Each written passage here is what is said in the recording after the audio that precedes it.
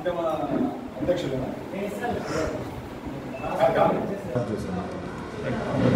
ఈ సమావేశమునకు జిల్లా నలుమూల నుండి వచ్చిన ఈడిగ గౌడ్ సోదరులందరికీ పేరు పేరున కృతజ్ఞతలు.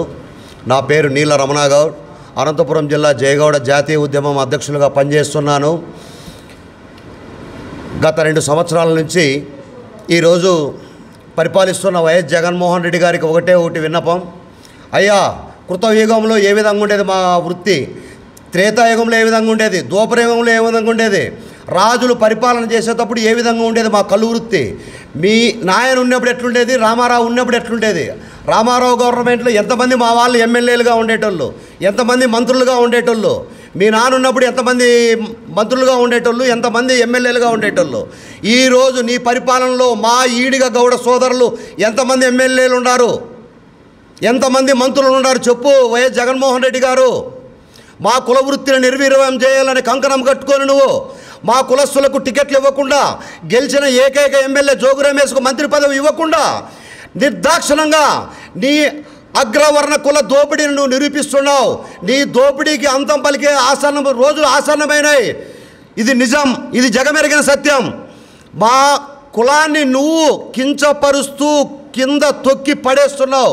జాగ్రత్త వైఎస్ జగన్మోహన్ రెడ్డి. మేము కూడా మాకు కూడా సిగ్గు లజ్జ మానవు అభిమానం ఉంటాయి. మేము కూడా కలమేలుకున్నాం. నీకు అంతముంచే రోజులు దగ్గర పన్నాయి ఆసన్నమైంది. కాబట్టి ఇప్పటికైనా నువ్వు గుర్తించి మాకిచ్చిన ఈడిగ గౌడ శ్రీసాయన యాత శెట్టిబల్జ కార్పొరేషన్లను చైర్మన్లను వాళ్ళ సీట్లు వాళ్ళ కేటాయించి వాళ్ళ ఆఫీసులు వాళ్ళ కేటాయించి బడ్జెట్లో ఒక్కొక్క ఒక్కొక్క శాఖకు రెండు వేల రూపాయలు రెండు కోట్ల రెండు వేల కోట్ల రూపాయల చొప్పున మొత్తం ఐదు ఉపకులాలైనటువంటి ఐదు ఉపకులాలకు పదివేల కోట్లు కేటాయించాలని కోరడమైనది.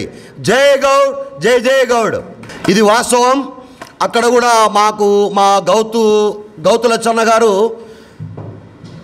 మనవరాలైనటువంటి శిరీష గారు అక్కడ ఉన్నటువంటి మంత్రి కూడా సీదిరి అప్పలరాజు కూడా మా బీసీ వర్గానికి చెందిన వ్యక్తేను ఈ కులాన్ని ఆమె నాయకత్వాన్ని ఉండకూడదు వీళ్ళు కనపడకూడదు ఈ శ్రీకాకుళం జిల్లాలోనే వీరి పేరు వినకూడదు అనే ఉద్దేశంతో నిర్దాక్షిణంగా కనికరం లేకుండా కూడా నిష్కారణంగా దొంగ కేసులు పెడుతూ ని నిర్దాక్షిణంగా హింసిస్తూ ఇది వాస్తవం. మీ అందరికీ తెలిసిన విషయమేను.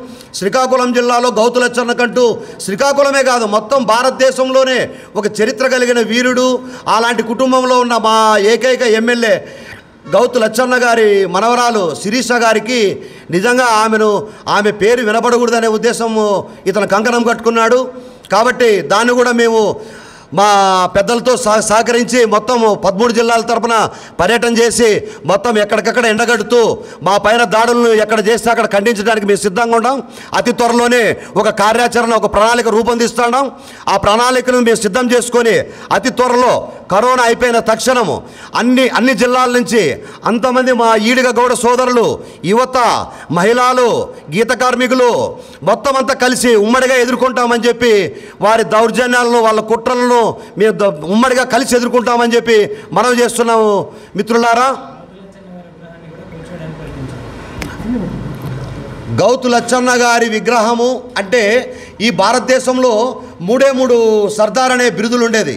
ఒకటి వచ్చి సర్దార్ వల్లభాయ్ పటేల్ రెండొచ్చి మన సర్వై సర్దార్ పాపన్న గౌడ్ మూడొచ్చి సర్దార్ గౌతు లచ్చన్న. ఈ సర్దార్ అనే బిరుదులు మాకు ఈ భారతదేశంలో రెండు మాకే ఉన్నాయన్నమాట. ఈడిగ గౌడ సోదరులకు మాత్రమే రెండు సర్దార్ అనే బిరుదులు ఉండేది మాకే.